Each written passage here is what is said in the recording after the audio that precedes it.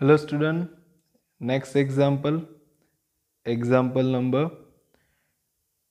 3.9 ठीक है you can see that the questions two parallel rail tracks run north south okay okay, दोनों opposite directions में एक north है और एक साउथ है okay train A move in a north with the speed 54 km per hour and train B move south with the speed of 90 kilometre per hour अब यहाँ पे हम समझ सकते हैं। सपोज़ यहाँ पे इसे मैं नॉर्थ कंसिडर कर लूँ और इसे साउथ एक ट्रेन ये डायरेक्शंस में जा रहा है। एक ट्रेन ये डायरेक्शंस में जा रहा है। ये इसका वेलोसिटी वी ए है और इसका velocity V B you can write the V A is equal to the velocity is given to us which is 54 kilometre per hour हमें तो मीटर पर सेकेंड में कन्वर्ट करना है। तो क्या लिखेंगे? 54 kilometre means mean to multiply with the thousand means one kilometre is equal to thousand metre and one hour is equal to three six double zero second cancel out cancel out कीजिए। यहाँ पे आपको answer मिलेगा 15 meter per second अपने कैलसी use कीजिएगा।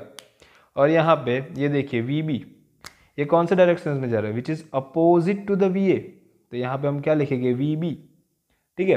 We B का क्या दिया हुआ है? Ninety kilometre per hour. यहीं भी सेम है। तो यहाँ पे क्या लिखेंगे? Ninety into thousand divide by three six double zero.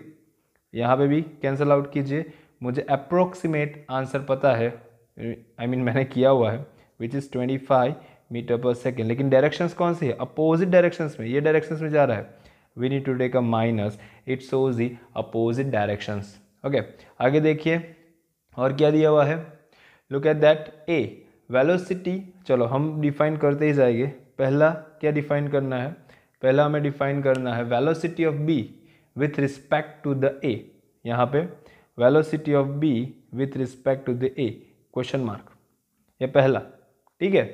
चलो, उसके साथ साथ सेकेंड बी में क्या दिया हुआ है? Look at the B velocity of ground with respect to the B and उसके बाद पहले चलो ये बी देख लेते velocity of ground with respect to the B अब हमारा ग्राउंड मीन्स जब भी हम अर्थ की बात करें सपोज़ हमारा ट्रेन मोशन में है, उसके रिस्पेक्ट में अर्थ की बात करें तो वो हमारे लिए अभी तो स्टेडी है ना?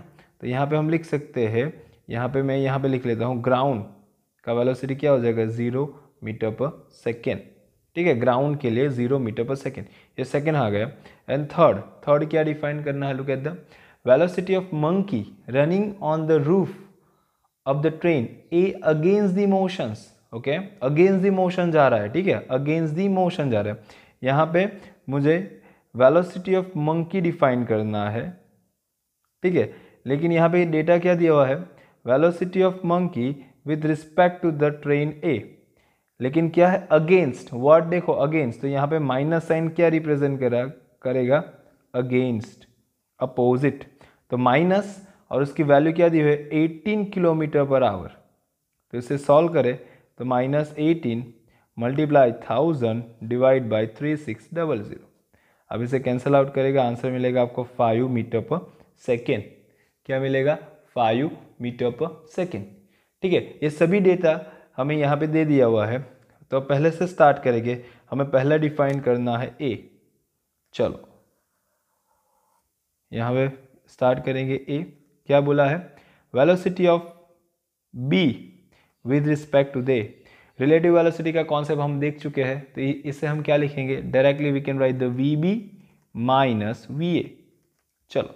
वी बी का वैल्यू क्या दिया हुआ? You can see that which is minus twenty five यहाँ पे माइनस ट्वेंटी फाइव और ये माइनस है और वी ए का वैल्यू वी का वैल्यू है फिफ्टीन यहाँ पे आ जाएगा फिफ्टीन ये माइनस माइनस दोनों माइनस है you can write the minus twenty five and minus fifteen answer will be minus forty metre per second ये वी बी ए का आंसर हमें यहाँ मिल गया which is what which is forty minus forty metre per second. ये opposite दिखा रहा है। और अगेंस्ट।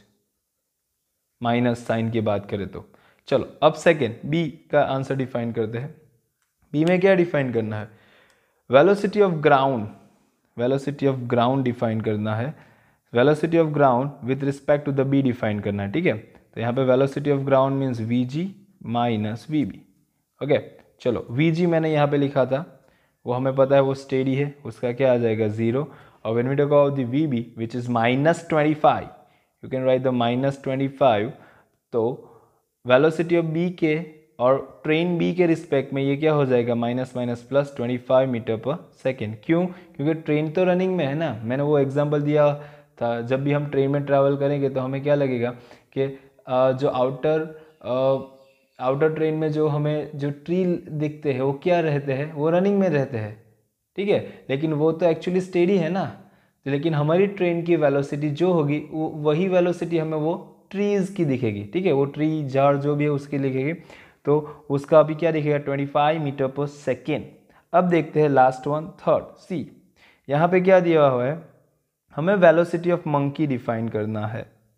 चलो velocity of monkey with respect to the train उसका वैल्यू दिया हुआ है अगेंस्ट वापस बोल रहा हूँ what they use the against against what it means it shows the opposite that's I use the minus sign over here okay now V M minus V A define क्या करना है? वी एम डिफाइन करना है ना?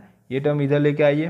तो V M A minus वाला term इधर आएगा प्लस हो जाएगा is equal to V M velocity of monkey चलो V M A is minus five and V A which is fifteen metre per second V M तो यहाँ पे हमें आंसर मिलेगा V M is equal to ten metre per second which is the velocity of monkey